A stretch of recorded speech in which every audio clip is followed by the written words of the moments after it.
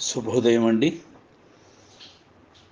అందరికీ కూడా శుభవందనాలు శుభాభినందనలు. నారు మంచి నోట ఓ మంచి మాట ఈ శీర్షికన. ఈ రోజున ఒక చిన్న విషయం తెలుసుకుందామండి.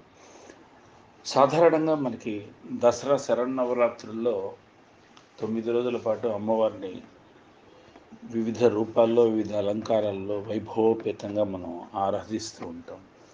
చక్కగా ఉమ్, ముత్తైదువులు అందరూ కూడా స్త్రీమూర్తులు అందరూ గుళ్ళకి వెళ్ళి అమ్మవారిని ఆరాధిస్తారు లలిత పారాయణ చేస్తారు సౌందర్య లహర్లు చదువుతారు చక్కగా అమ్మ ఆరాధన.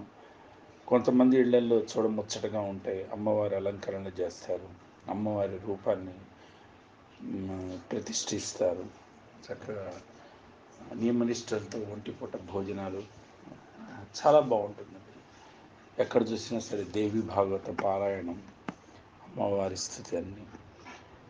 కానీ విజయదశమి రోజు వచ్చేటప్పటికి మనకి విజయదశమి రోజున ఎక్కువగా తెలంగాణ వైపు అయితే కనుక సెమ్మి వృక్షానికి సెమ్మి పూజకు ఎక్కువ ప్రాధాన్యత ఇస్తారు.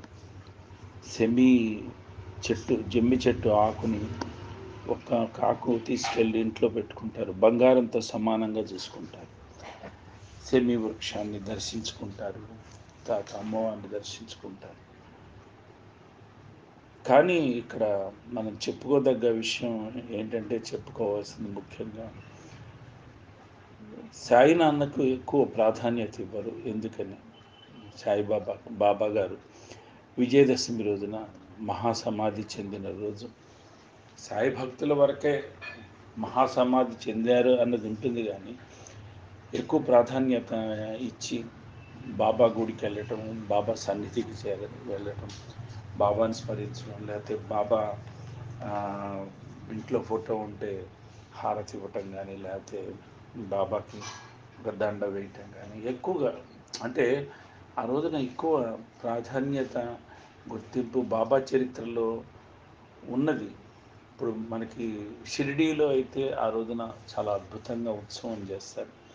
విజయదశమి రోజున. మరి విజయదశమి రోజునే బాబా మహాసమాధి చెందారు కాబట్టి ఒక్కసారి మనం బాబాని స్మరించుకున్నాం విజయదశమి వెళ్ళిపోయినా విజయదశమి ఆ పోకడలు ఇంకా ఆ స్ఫురణలు ఉన్నాయి కాబట్టి మనలో బాబా శరీరాన్ని వదిలే ముందు కొన్ని సూచనలు చెప్పారు. అవి ముఖ్యంగా వాటి గురించి మనం మాట్లాడుకుందామండి. బాబా విజయదశమి రోజున మహాసమాధి చెందారు కదా మరి. మహాసమాధికి కొన్ని రోజుల ముందు వజే అనే ఆయన చేత బాబా రామ విజయం అనే గ్రంథాన్ని చదివించుకున్నారు. మొట్టమొదట వజే ఏడు రోజుల్లో పారాయణం పూర్తి చేశారు. అలాగే రెండోసారి మళ్ళీ రాత్రి పగలు చదివి రెండో పారాయణాన్ని పూర్తి చేశారు. మరలా బాబా మూడోసారి చదవమన్నారు. తాను మూడు రోజుల్లో చదివి అలసిపోయాడు వజే. అప్పుడు బాబా అతనికి సెలవిచ్చి ఇక చాలు నువ్వు వెళ్ళు అని అన్నారు. ఎవరైనా సరే మరణానికి సిద్ధంగా ఉన్నప్పుడు వారి వారి మత గ్రంథాలు చదవటం ఆనవాయితీ. అలానే సుఖబ్రహ్మ పరిషత్ పరీక్షిత్ మహారాజుకు ఏడు రోజుల్లో భాగవతం చెప్పి ఆయనను అనుగ్రహించారు.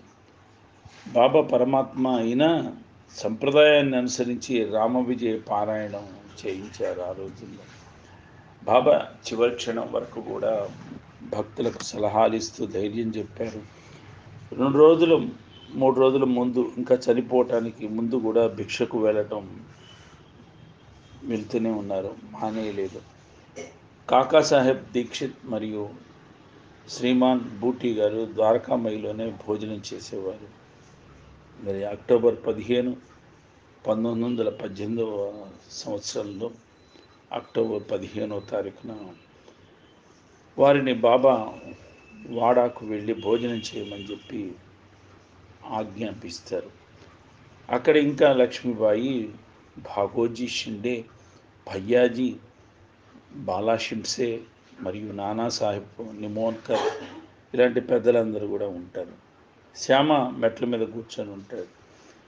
లక్ష్మీబాయికి తొమ్మిది నాణాలు ఇచ్చిన తర్వాత బాబా ఇలా చెప్తారు.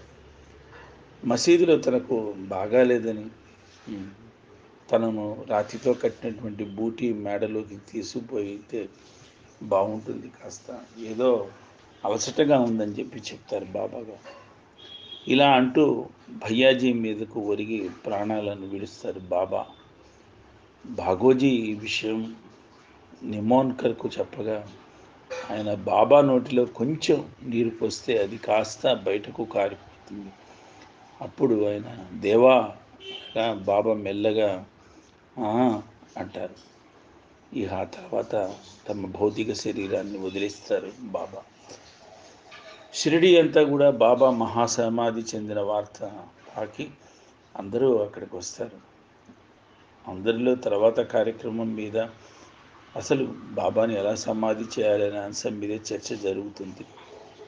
ముస్లిం భక్తులు బాబా శరీరాన్ని ఆరు బయట సమాధి చేసి గోరీ కట్టాలని నిర్ణయిస్తారు. కానీ రామచంద్ర పాటిల్ మిగిలిన గ్రామస్తులందరితో కలిసి బాబా కోరిన విధంగా బూటీవాడాలో ఉంచాలి అని తీర్మానిస్తారు. ఈ రెండు వాదనల ఎటు తేలకపోతే అందరిలో కూడా కలవరం మొదలవుతుంది. అప్పుడు రహతా నుండి సబ్ ఇన్స్పెక్టర్ కోపర్గావ్ నుండి మామాల్తాదార్ మరియు కొందరు అధికారులు వచ్చారు వస్తారు. వారు ఎన్నిక జరగాలి అని నిశ్చయించితే ఎక్కువ శాతం ఓట్లు బాబా కోరిన దాన్నే బలపరుస్తాయి. ఇక వారి కోరిక మీద అప్పుడు బూటీ వాడాలని ఎక్కడైతే మురళీధరుని ఉంచాలి అనుకున్నారో అదే స్థానంలో బాబా శరీరాన్ని ఉంచుతారు. ఇక్కడ నార్కే గారు ఒక విషయం చెప్పారు. బాబా శరీరం ముప్పై ఆరు గంటల తర్వాత కూడా ఏమీ పాడవకుండా ఉంది. ఆయన కఫీనీని చింపకుండా తీయగలిగారు. బాబా సాహెబ్ భాటే ఉపాసిని బాబా కలిసి జరగవలసిన కార్యక్రమాలు కూడా దగ్గరుండల్లా పూర్తి చేయిస్తారు. బాబా మహాసమాధికి కొన్ని రోజుల ముందు బాబా ఎప్పుడు తన దగ్గరే ఉంచుకొని అపురూపంగా చూసుకొని ఇటకరాయి రెండు ముక్కలవుతుంది. మసీదును శుభ్రపరిచే ఒక కుర్రవాడు పొరపాటున ఇటుకరాయిని శుభ్రం చేస్తూ కింద పడేస్తాడు. అప్పుడు అది రెండు ముక్కలు అవుతుంది బాబా వచ్చి ఈ విషయం తెలుసుకొని ఇలా అంటారు బాబా. ఇది ఇటుక కాదు. నా అదృష్టమే ముక్కలైపోయింది. అది నా జీవితపు తోడు నీడ. దాని సహాయం వల్లనే నేను ఆత్మానుసంధానం చేసేవాడిని. ఈరోజు అది నన్ను విడిచింది. అని అంటారు. ఈ ఇటుకపై బాబాకి ఇంత ప్రేమ అని మనం అనుకోవచ్చు కానీ దీని విషయం బాబాకే తెలియాలి. వారు శుద్ధ చైతన్యులు. వారికి ఈ అశాశ్వతమైనటువంటి వాటి మీద మమకారం ఉండదు. ఈ ఇటుక గురుభక్తికి ప్రతీకగా కొందరు చెప్తారు. జీవన్ముక్తులకు ఇలా ప్రాపంచిక పరంగా అందరిలాగా భౌతిక పరంగా ఆలంబనం ఉండదు. కానీ అందరిలాగా వారు ప్రవర్తించవచ్చు. మరి విజయదశమిని పురస్కరించుకొని ఒక్కసారి మనం బాబాను స్మరణం చేసుకున్నాం బాబా మహాసమాధి కావటానికి ముందు రోజులు మహాసమాధి అయిన తర్వాత నిర్యాణం చెందిన తర్వాత సిద్ధి పొందిన తర్వాత సంఘటనల్ని ఒకసారి తలుచుకుంటే బాబాని స్మరిస్తే ఈ విజయదశమికి పరిపూర్ణమైనటువంటి రూపం ఇచ్చిన వాళ్ళు అవుతాం ఓం సాయి శ్రీ సాయి జై జై సాయి ఓం సాయి శ్రీ సాయి జై జై సాయి స్వస్తి